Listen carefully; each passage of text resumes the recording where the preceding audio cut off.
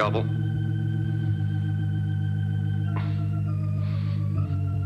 Hmm. You were right, Nurse Burns. This man is rotten inside. It's a bleeding ulcer. Those who care. Sponsored. Get it? Well, you look handsome in your mask, hon. Hey. Oh, my nose didn't show, right? Special delivery for Dr. Fairmont, care of Dick Preston. Sign Oh. here, please. Hey, would you uh, sign this for my wife? She loves your show. Sure. Hey, could you sign it, uh, Dr. Fairmont? She don't know who Dick Preston is. That's much better. Thanks a lot. Can I have the package? Oh, yes, yes, sir. Thank you. Thank you very much. Great meeting you, Dr. Fairmont. What is that, hon? Oh, it's another cake from Mrs. Ferguson. Hey, this is the first one she's ever sent to the house. I wonder how she got our address. You sent her a thank you note last time? Oh, yes. Well, that's how she got it. I should have scratched out our return address. Don't worry, honey. She's an old lady. She won't bother us. I hope you're right. Why don't you think she's old? Because she makes old cakes. Nobody under 80 makes authentic carrot cakes anymore. Oh, here it is. My dear Dr. Fairmont, I made the cake especially good this week because of the wonderful work you're doing with Martha. May you live forever.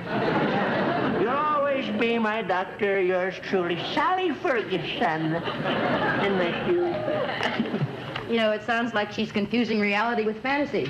You've become Dr. Fairmont to her, huh? well, that's tribute to my good acting.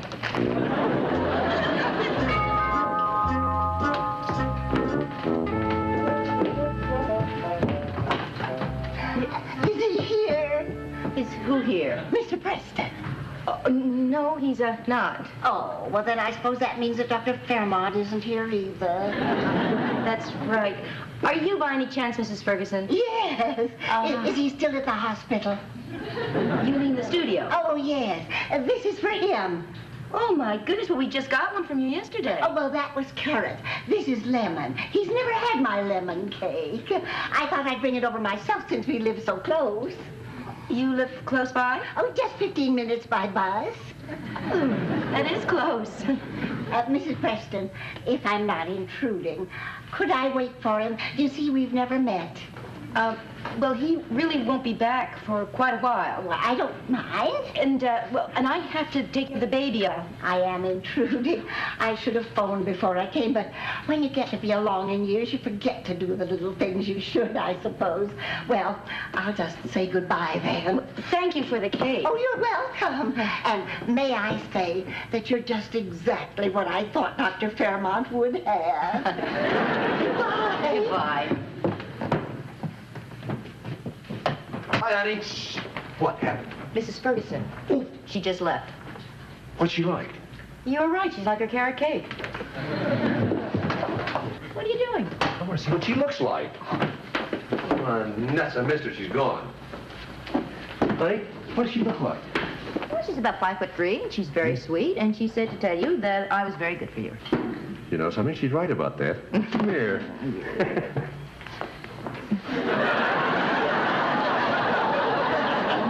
Is that Dr. Fairmont? Talking. It's Mrs. Ferguson. I saw your car in the driveway, and the back door was open. You should be careful about that. Anyone can walk right through that door. That's right. Well, so you're you're Mrs. Ferguson. Yes. Imagine me standing in the same room with you, Dr. Fairmont in person. Here we are. You've met my wife, Jenny. Oh, yes.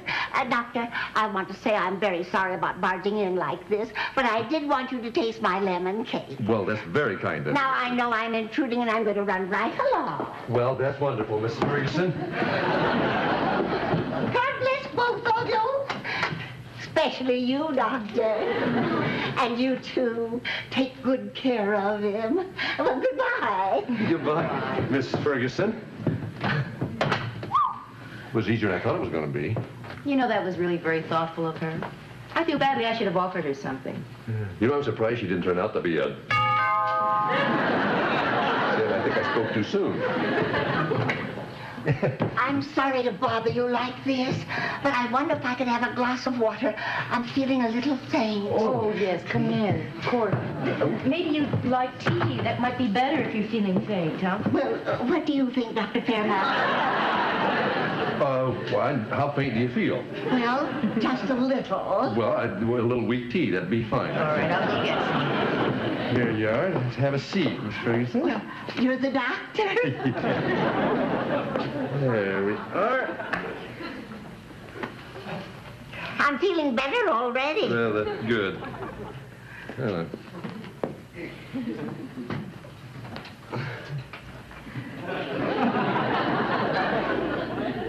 Uh, you, uh, you send cakes to anyone else, Miss Ferguson? Oh, well, just to a very few people. I'm not promiscuous. Who else do you send them to? Well, uh, Dr. Kildare, Dr. Welby, Dr. Gannon, Dr. Salk, and uh, Walter Cronkite. Walter Cronkite, he's not a doctor. He should be. You're my favorite.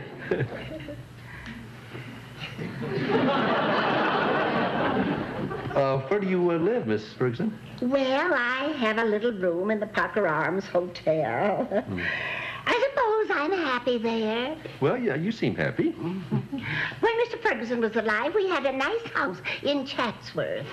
But I don't need the responsibility of a big house now. No, of course, you don't need that now. No, why would I need that? You don't. When you have a house, you have stairs to climb and a yard to clean. Fence to fix. We didn't have a fence. Oh, sure, yeah, but you, you don't need a big house now. I don't need it. That's right. I agree with you. You don't know how much I miss that house. Well, that's what you do. You miss a house. It was the house where we brought up our son, Michael. Yeah, well, a house is a, a best place to bring up children, that's true. Michael's a wonderful son. Such a nice boy. Mm, well, he sounds wonderful. He doesn't write to me. He's probably busy. Oh, that's not important. No. Do you know what is important? Love. No. Why don't you, whatever it is, I mean, it's probably very important. I, gee, that tea's taking a long time. I'm getting a little faint myself. Yeah. The important thing is that I'm his mother and he's my son. A letter wouldn't make me love him anymore. That's what's a letter anyway. I'm not a well woman, doctor. Not a doctor. I don't like to go to regular doctors. Regular?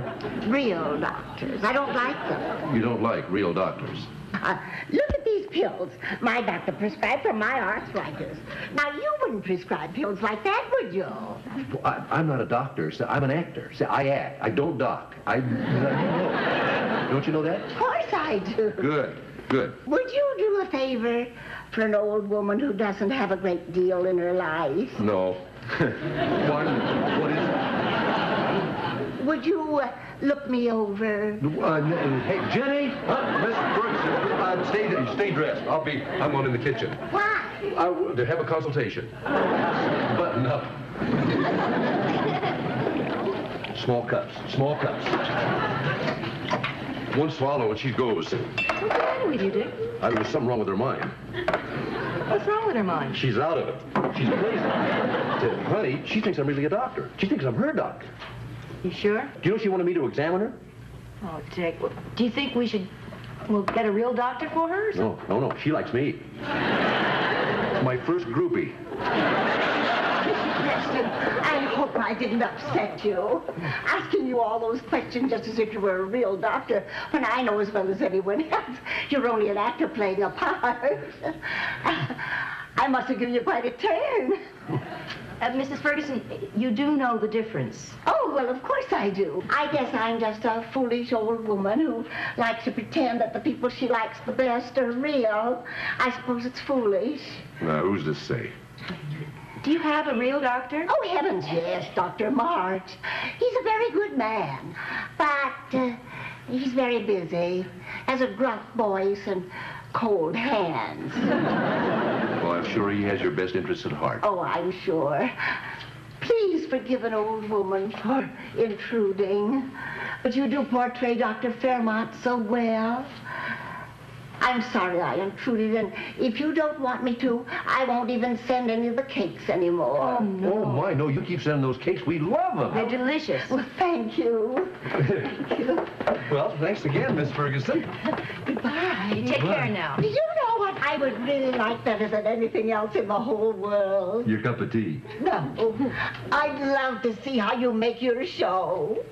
Oh, well, Miss Ferguson, we don't have an audience for that show, and it's pretty boring to watch. Well, Jenny's been down there. Yes, it, it is pretty boring. Yeah, you have no idea. I mean, I'm bored there. There isn't a great deal to do. Miss Preston, I very seldom have a great deal to do.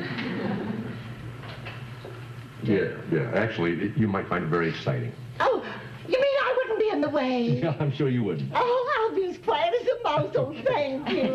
Enjoy it. Thank you. Thank you, Mrs. Fairmont. Uh, Preston. And thank you, Doctor. Actor. Well, she goes in and out.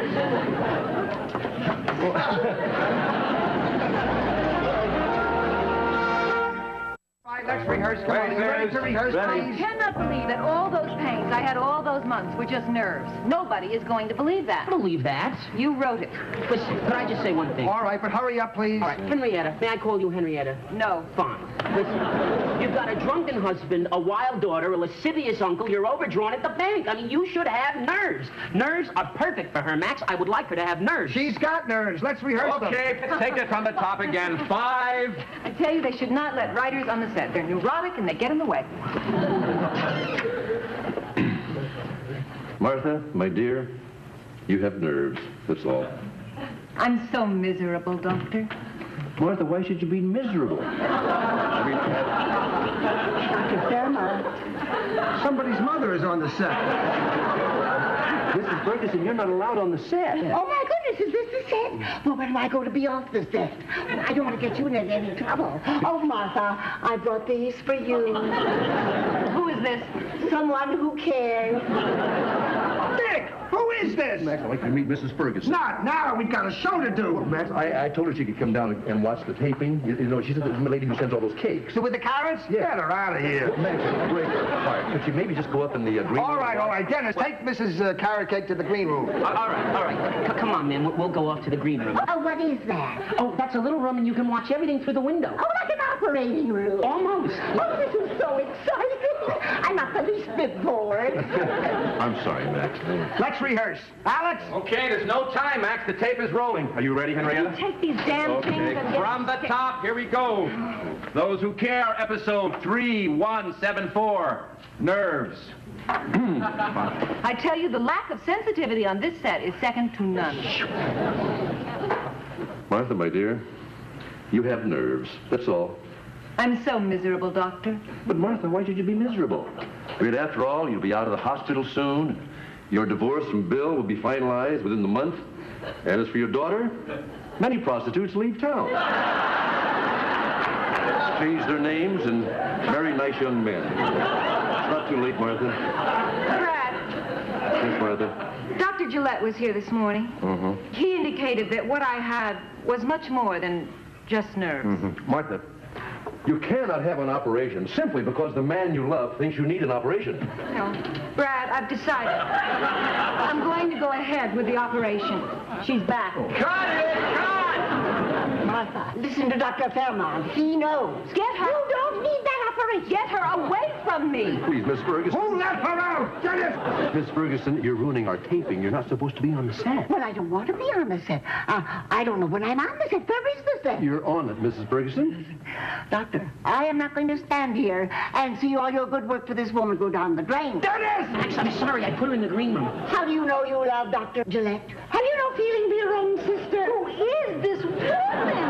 Get her out of here. We have to finish taping in 30 minutes. Oh, Miss Ferguson, you have to go home. Come on, lady. You are the best doctor in the country, and you won't listen to him. She'll listen. I'll make her. I'll make her. Your Dr. Gillette is a quack. I am getting very nervous. Someone get this lady off the set. Andy, I'm trying. I can't carry her off now, okay? Do you know why your husband drinks? I'll tell you why. Because you're stubborn.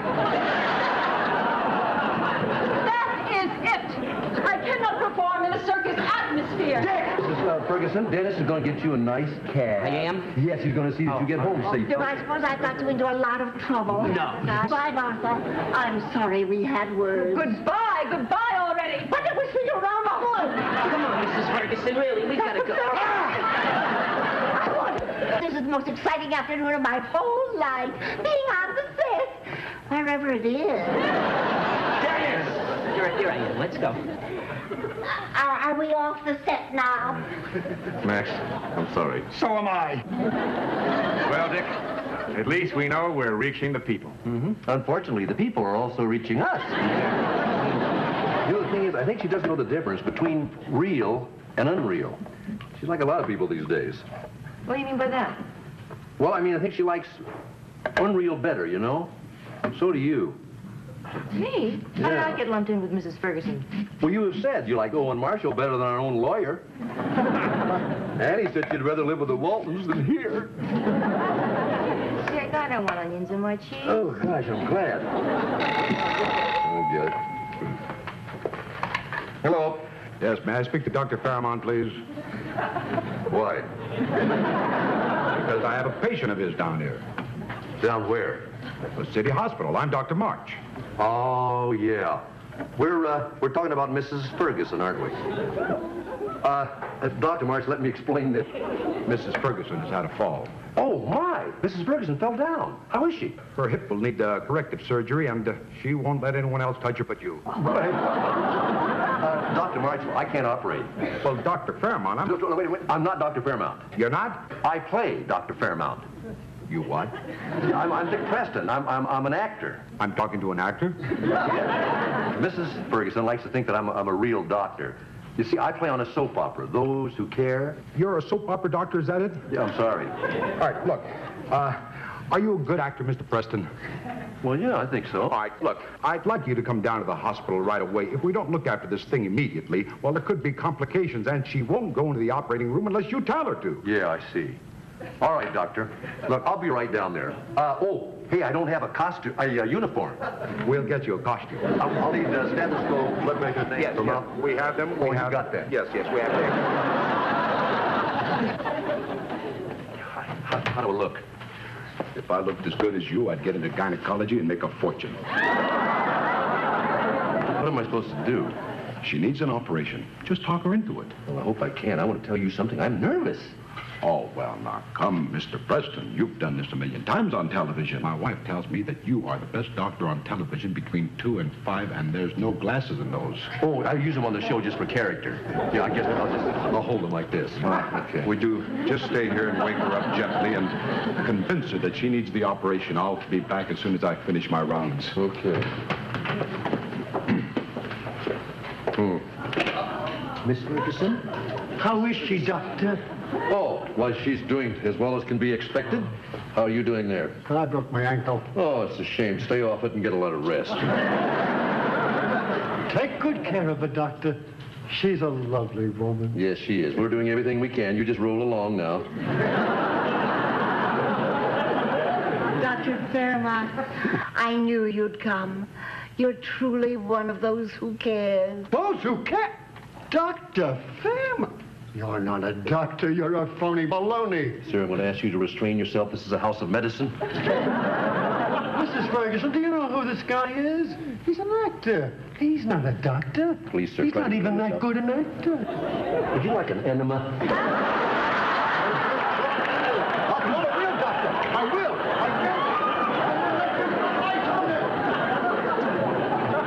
I I knew you'd come, Doctor. Keep that under your tongue now. There we are. Ah, How am I? Well, you're going to be just fine, Mrs. Ferguson. Dr. March wants to operate on me. Well, Dr. March is a very good man. Yes, but he hasn't got your kindness or your warm hands. His hands went to a good medical school. There's Dr. Baloney. Baloney. Go back to your room. I'll take care of it. Thank you, Bob. Oh, uh, March, I'm glad you're here. I'd like to confer with you on uh, Miss Ferguson's condition. What is your diagnosis? Well, I haven't finished my examination as yet. Well, finish it. Okay.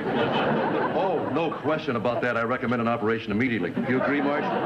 Yes, I, I agree. And I'm glad to see it my way. Dr. March, prepare for surgery immediately. Yes, well, uh, what about two hours, Doctor? Oh, yeah, two hours. Fine. That's very good to give a chance for that pelvic structure there to stitch and where you make the pelvinectomy.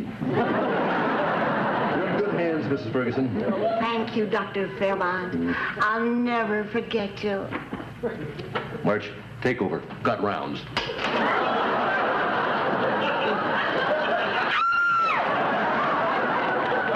Better look in on her, March. Dr. Fairmont's a wonderful man, isn't he? Yeah, oh, yes, there are some things he can handle better than I can. It was so nice of you to make me a cake. Oh, I love doing it. I'll put it over here.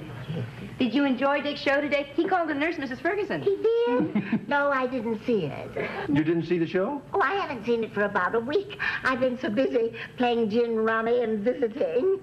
Oh, with who? With Myron. He's been very good company. Oh, you'd best be running along. Myron's due any minute now, and he doesn't like Dick Preston. He thinks he's a phony baloney. I think you're just jealous. Oh, wouldn't that be nice?